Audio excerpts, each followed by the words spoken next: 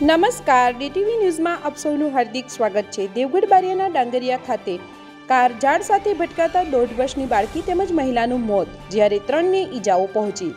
મીઠી બોરથી ફતેપુરા જવા માટે કારમાં પાંચ લોકો સવાર થઈ રહ્યા હતા. તે દરમિયાન દેવગઢ બારિયાના ડાંગરિયા નજીક કારના ચાલકે સ્ટેરિંગ પરનો કાબુ ગુમાવતા કાર એક ઝાડ સાથે અથડાઈ હતી, જેને પગલે કાર સવાર એક દોઢ વર્ષની બાળકી તેમજ એક મહિલાનું કરુણ મોત નીપજ્યું હતું. સાથે મૃતક બાળકીની માતા સહિત ત્રણ લોકો ઈજાગ્રસ્ત થયા હતા.